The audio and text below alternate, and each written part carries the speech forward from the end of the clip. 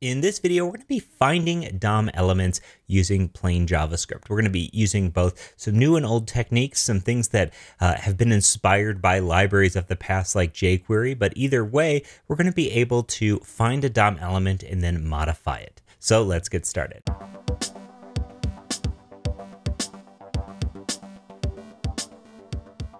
Okay, so in this first video, what we're going to be doing is diving into the DOM, and we're going to be doing so in a way that shows you how you can interact with elements on the page using JavaScript.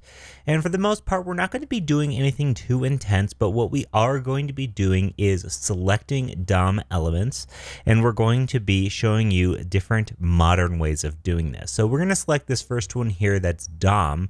If you don't want to do that, you can also just head to your localhost port 3000 forward slash examples forward slash DOM forward slash index dot HTML.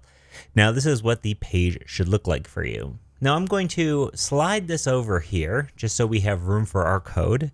And I'm also actually, I'm going to take that back. I'm going to move this here and I'm going to put the browser window over here. Okay. That way we can see things very clearly. All right, so now that we're here, let's talk about what we're going to be doing. For the most part, we have some HTML over here, and we're going to be wanting to interact with it. For instance, we have one H1 or it's an H2 that says find me, another one that says change me, and then we have an unordered list that has no content. We're going to be showing you how you can find this item, how you can change this item, and then how you can uh, add multiple items down here after finding them all. And we're going to be doing so using modern techniques. Now, in the past, you would pick up something like jQuery to do this, which is a library that makes finding and working with the DOM easy. Modern day JavaScript, though, however, has really made it simple to work with the DOM by taking actually some hints from jQuery and how it worked. So the first thing we're going to do is find the find me element and we're just going to console log the output to the console. If you want to pop open your console, you can click inspect down here and open up your console and I'll bump up the size of this so it's nice and easy or you can select console from right here as well. And here we go. So the first thing we're going to do is we're going to create a new variable. So we're going to say const find me, and I have an underscore in there. And find underscore me is going to be equal to document dot query selector and then pound find me. Now, the syntax for this is saying that we have the document, and the document really is referencing the HTML page itself. So, anytime you see the word document, you know that you're going to be interacting with the rendered HTML that has been rendered into the browser in what's called the DOM or the Document Object Model. The document object model is just a fancy way to say that when the browser reads HTML, it puts everything into an object. That object has different properties on it, and that is essentially going to be the structure of the entire rendered HTML page. So anytime you see this, you'll typically see a document dot and then the property.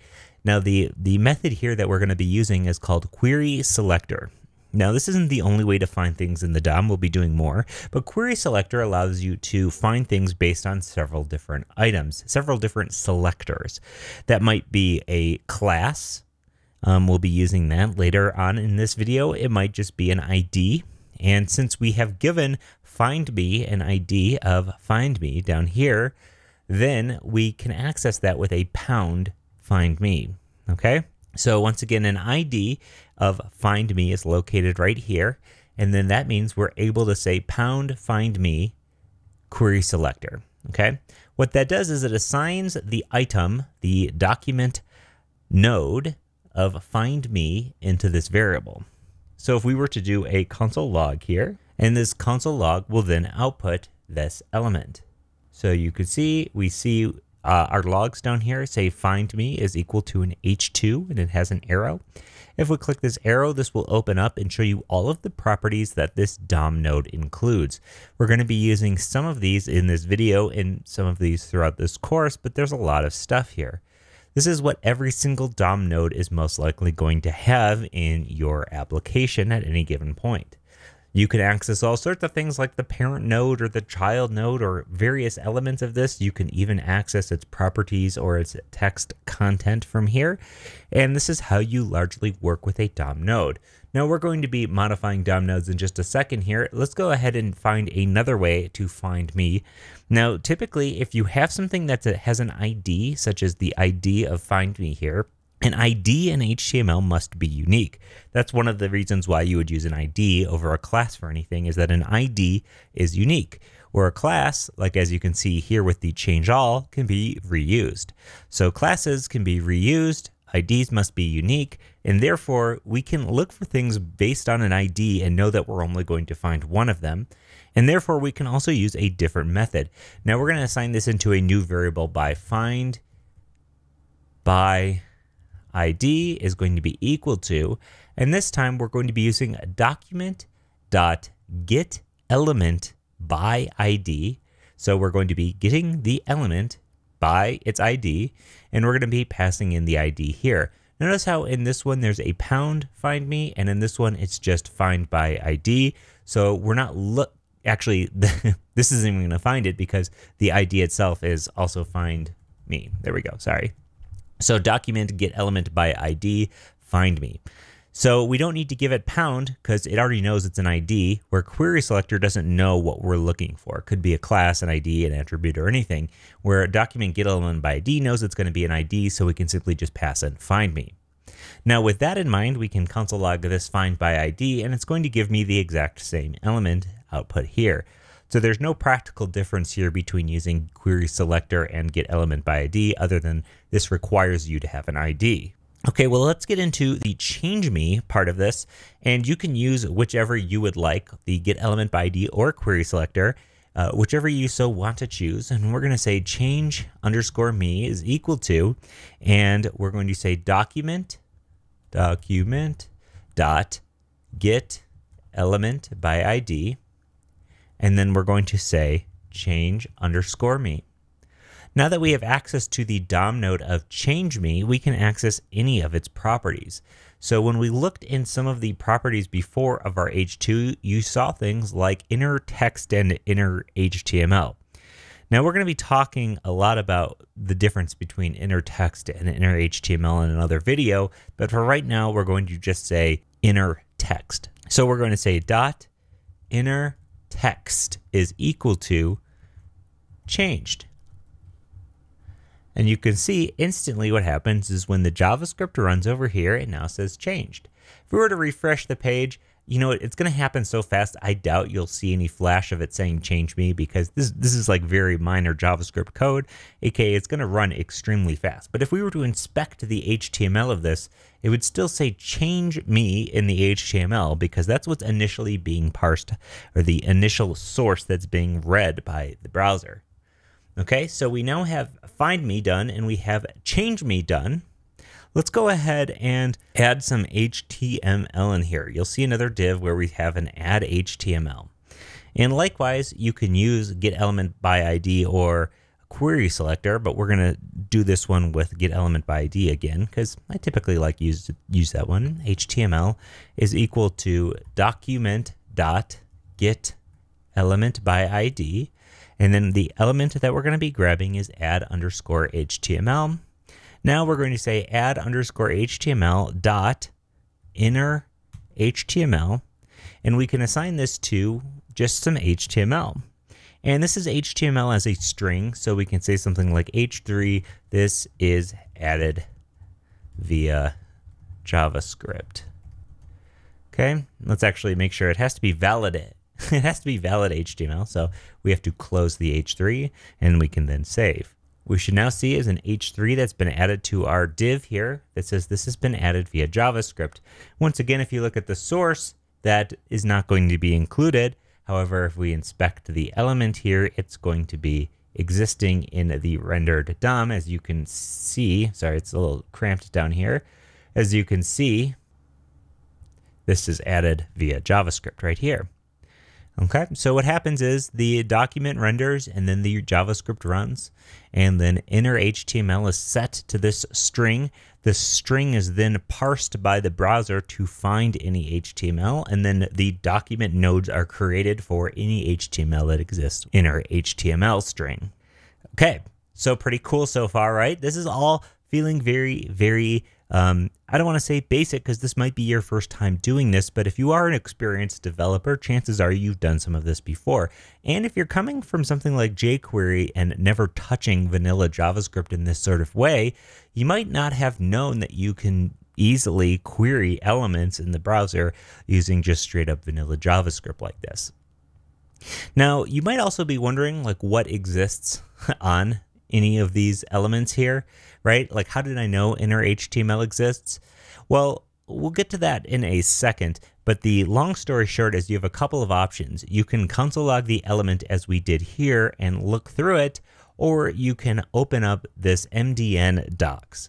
Throughout this course, we'll be linking quite a bit to the MDN docs, and this is going to show you all of the different DOM interfaces. The DOM interface that we're actually working with here is an element or a DOM node. If we select element, you can see, for example, the HTML element interface is the base interface for HTML. We can select that one. And this will show you all of the properties that are on a given HTML element. And you might expect to see some of the ones that we have in here, but not everything is in here. That's because of how properties exist within HTML. You can see it inherits the properties of its parent element. So anything that you don't see here is going to exist inside of element, okay, which is the root one. Now the element is where you will see things like outer HTML, inner HTML, text, um, or inner text, I'm sorry, not just straight up text. Whereas that inner HTML right here, um, ID, accessing any of those types of properties.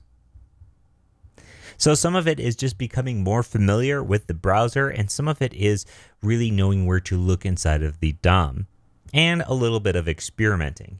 Keep in mind, you can always console log or you can always spy into things using JavaScript itself to see what something has available to it. Okay, so lastly, let's go ahead and find all of these list items, and we're going to add text to each of these list items. So we're going to be doing so using something called query selector all. So we're going to say const find all is equal to document query selector all.